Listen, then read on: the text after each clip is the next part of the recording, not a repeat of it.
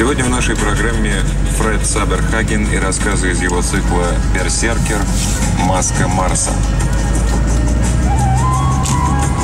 Доброжил.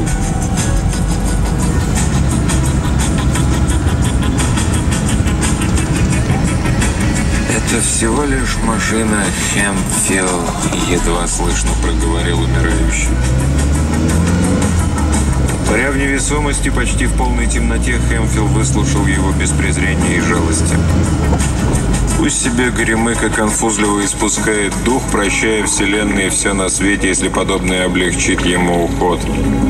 Сам Хэмфилл безотрывно взирал сквозь иллюминатор на темный изубренный силуэт, заслонивший невероятно много звезд. Видимо, пригодный для дыхания воздух сохранился только в этом отсеке пассажирского лайнера, ставшем темницей для трех человек.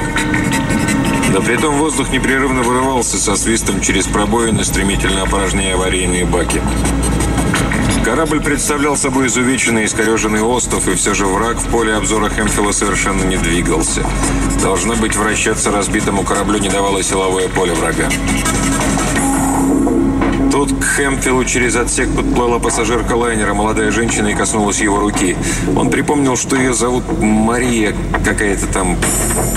«Послушайте», — начала девушка, — «как по-вашему, мы не могли бы...» В ее голосе не было отчаяния, скорее рассудительной интонации человека, разрабатывающего план. Поэтому Хэмфилл сразу же прислушался к ней. Но их перебили.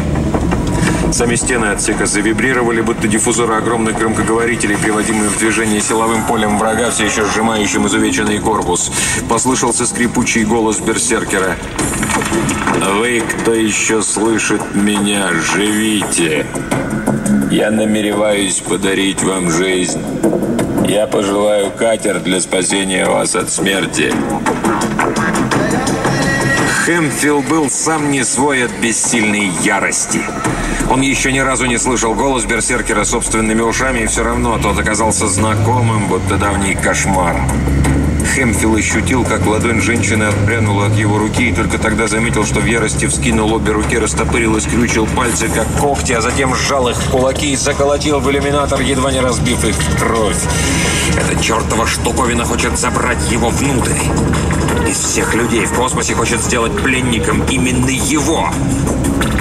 В голове мгновенно возник план действий, и Хэмфилл резко отвернулся от иллюминатора. В этом отсеке где-то были боеголовки для небольших оборонительных ракет. Где-то он их видел. Второй уцелевший мужчина, офицер корабля, медленно истекавший кровью через прорехи формы, увидел, что Хэмфилл роется среди обломков и выплыл перед ним, чтобы помешать. «Вы не смеете. Вы уничтожите лишь катер, который он посылает. Если он хоть это вам позволит. Там могут быть другие люди, еще живые». Из-за невесомости офицер висел перед Хэмфиллом вверх ногами. Когда же инерция развернула их так, что они увидели друг друга в нормальном положении, раненый вдруг осекся, сдался, оставил уговоры и отвернулся, безвольно дрейфуя в воздухе, будто уже умер. Хэмфилл не надеялся соорудить целую боеголовку, зато мог извлечь детонатор химической взрывчатки, как раз такого размера, чтобы уместился под мышкой. Когда началась неравная битва, всем пассажирам пришлось надеть аварийные скафандры. Теперь он нашел для себя запасной баллон с воздухом и лазерный пистолет какого-то офицера и сунул его в петлю на поясе своего скафандра. Девушка снова приблизилась к нему. Хэмфилл настороженно следил за ней. «Сделайте это», — сказала она со спокойной убежденностью, медленно кружась вместе с обоими мужчинами в полумраке под завывание утекающего сквозь пробоины воздуха. «Сделайте. Потеря катера ослабит его перед следующим боем, пусть хоть капельку. У нас так и так ни малейшего шанса на спасение». «Да», — одобрительно кивнул он. Эта девушка понимает, что самое важное – ранить берсеркера, бить, ломать, сжечь и в конце концов уничтожить его. Все остальное – ерунда. «Не позволяйте ему выдать меня», указав на раненого Старпому, шепотом произнес он. Девушка лишь молча кивнула. Возможно, берсеркер подслушивает. Раз уж он способен говорить при помощи стен, то может и подслушивать. «Катер приближается», — сообщил раненый спокойным сухим тоном. Всем привет. Доброжи! С вами снова Придурков. голос, как всегда, Едем. между слогами. Здесь вздрогнул. В гости к Коляну, посмотреть его. На ноги. Задремал, чуть ли не подкапающий из а, Квадроцикл, за которым мы ездили в Тулу покупать. Да прожил. В этом тесном отсеке нет ни динамиков, ни сканеров. Покупали мы. Донесся с некоторого отдаления. У одного. Здесь. Он побежал. А, гражданина? И топая под гражданин э, широко, широко известный в узких кругах. Он есть там ВКонтакте, у него там ник, типа Nissan Silva. Да, покупали у него. Я как-то показывал, по-моему, эту поездку. Такая она была интересная. Хотя обратите внимание на погоду, какая погода.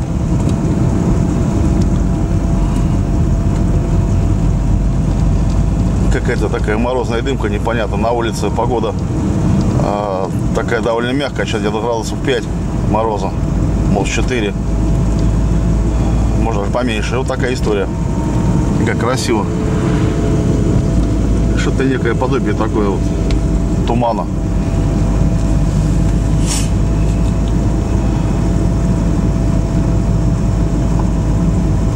Вот, вот видите, уже некоторые оттопыриваются, дальше уже знаков нет точнее камер нет. Мы сейчас были, проезжали там возле кладбища, на котором а, лежит моя бабуля и дедушка Галина Ивановна и Константин Гаврилович. Там камера. Знак почему-то 40. Я тут еще закипел. По городу вот э, ездил сейчас уехал, когда подвигался по городу, по центральной площади, все поперекрыли нахрен. То есть мимо администрации ездить нельзя, повесили кирпич, видите ли, я так понимаю, мы им мешаем. С другой стороны, движение запрещено, с одной стороны кирпич, поворот направо запрещен. То есть эти так называемые слуги народа, они, а, ну я не знаю, что они там. И так они народ уже выбесили, эти слуги. А тут еще себе, тут, видимо, комфортные условия делают. Ну, короче, я так немножко скрипанул. Сейчас тоже еду, поскрипываю. Мы крайний раз были у Коляна, отвозил ему шестерню, там я там и перетачивал, там переделал. Ее срезало из того, что в маслонасос попала а, стружка. Маслонасос заклинило и свернуло привод. Ну, а сейчас мы едем посмотреть, что будет дальше. То есть там Колян кое-что покупал, кое-что ставил.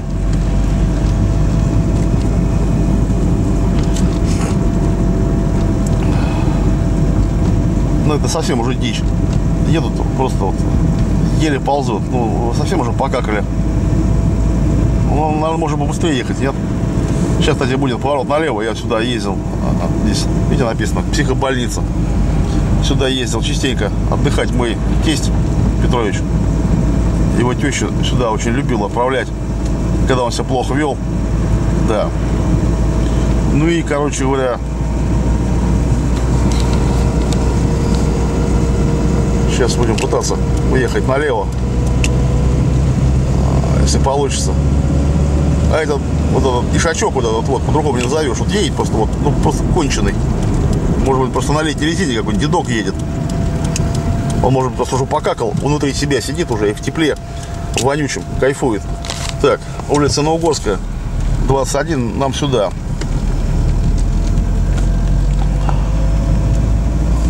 А мы тут с вами уже были, но я не показывал въезд.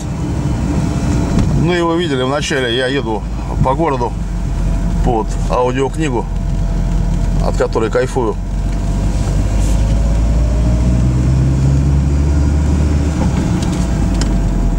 Сейчас где-нибудь приткнемся тут где-нибудь. И будем. Ага, ага.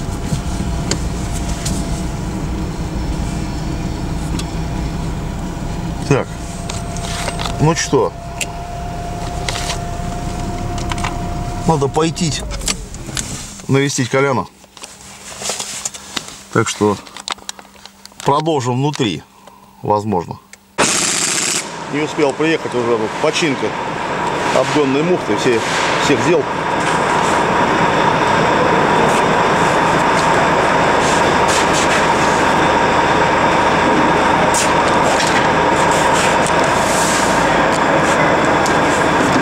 Ну, Этот не очень хороший молоток.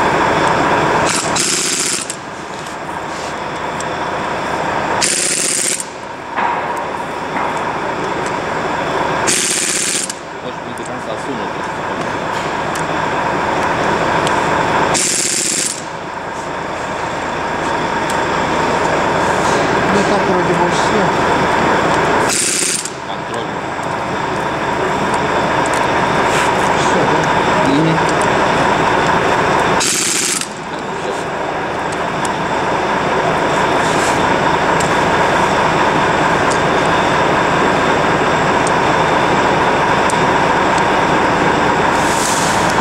Что-то конечно.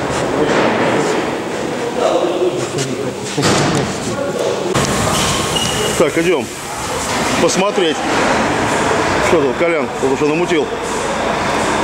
Уже чили-то почти собрано. Вот так она выглядит со стороны.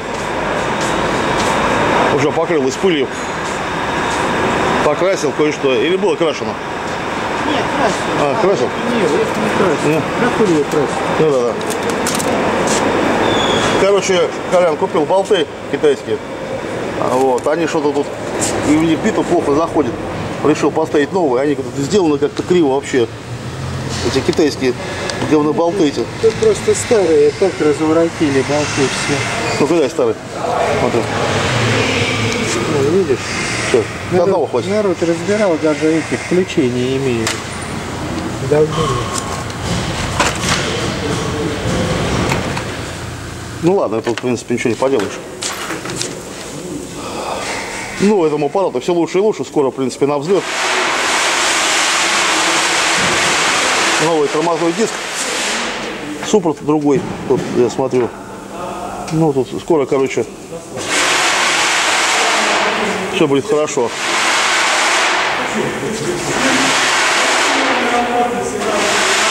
Ну, вот прям на глазах у вас там. Сейчас собирается в кучу.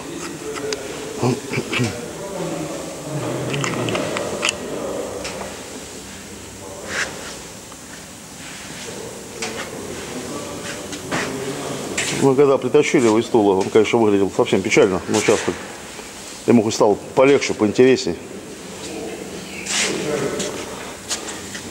Скоро, возможно, произойдет запуск. Уже правильный, с маслонасосом, потому что мы за этого заводили. Рисковали. Мы не знали, что у него там печаль. И вообще, почему он стоял. Оказывается, вот, вот по всем этим делам.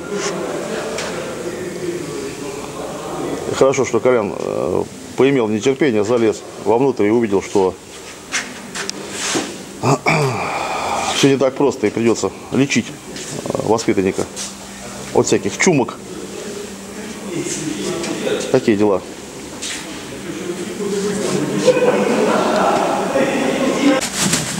Так, Колян меня греет карбюратором, который был в составе. Ох, и мама не горит, куда мне столько? У нас вот, вот про это речь идет, может быть, я его на ПС запихаю. Вот, и здесь. 34, да, Коль? По-моему, да. Ну да. Да не надо, зачем? Не светись. Я вот тот раз еще, когда был здесь, я вот так уехал без этих карбюраторов. Так, ну что, ребят, все я тут, все, что хотел. Тут мы тут потерли, поговорили, там мне Колян дал карбюратор, я вам показывал их. Сейчас э, едем на э, озеро Светлая Жизнь. Звонил Са- Сан Иванович Марочкин.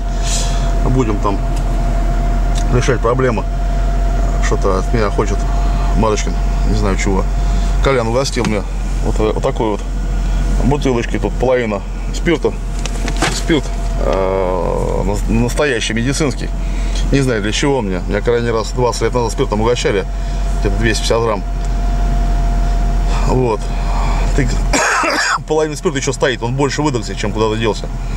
Так что э, типа скоро днюх у меня там предстоит кого-то угощать. Ну, не знаю. Понятно, что не спиртом, но... Ладно, ребята, и так много наговорил уже, давайте. Всем пока. Не знаю, как вы относитесь э, к тому, что я еду под музыку и под э, аудиокниги. Но я с этого кайфую. Кого-то цепляет, кого-то нет. Прошу прощения за это, но, видимо, так и будет. Иногда охота послушать всякие гадости. На этом все. Всем пока.